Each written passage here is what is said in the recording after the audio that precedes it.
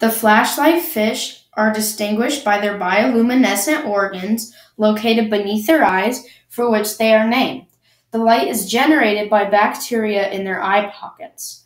Flashlight fish manipulate their eye emission with an organ allowing the fish to flash different patterns.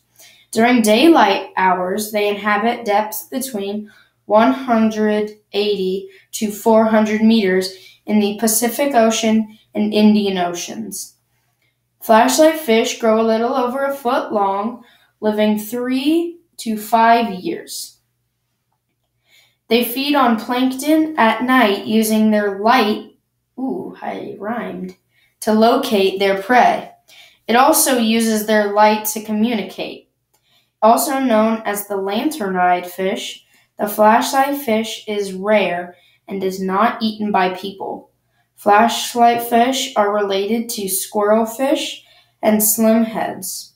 Threats to flashlight fish are pollution, habitat destruction, climate change, and destructive fishing.